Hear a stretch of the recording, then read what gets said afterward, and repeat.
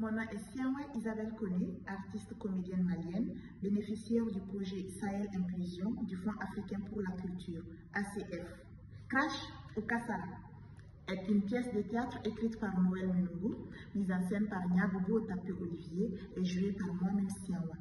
Il met en lumière le vécu tumultueux de plusieurs adolescentes qui vivent dans une société où la communication parent-enfant est quasi inexistante. L'assistance de l'ACF a directement influencé mon projet dans le sens où cela nous a permis de créer pendant un mois un spectacle de qualité avec plusieurs nationalités du Sahel, euh, avec engouement et sans stress.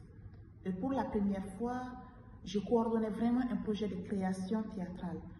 Je pense que cette gestion m'a fait grandir en termes de montée en compétences. Les changements les plus significatifs que j'ai vécu en relation avec mon activité soutenue par la CF j'ai été renforcée euh, en gestion administrative et financière d'un projet et aussi le constat d'un début de changement de comportement par les cibles grâce à l'effet du spectacle qui a été diffusé auprès d'elle. Crash ou Kassara m'a également permis de comprendre la difficulté de la circulation des œuvres artistiques en Afrique.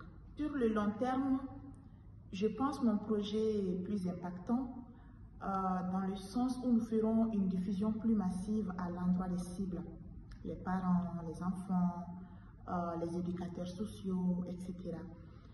Et nous pensons également à convertir les spectacles en capsules radiophoniques dans nos langues maternelles afin de le rendre accessible à un plus large public, euh, notamment de la zone rurale.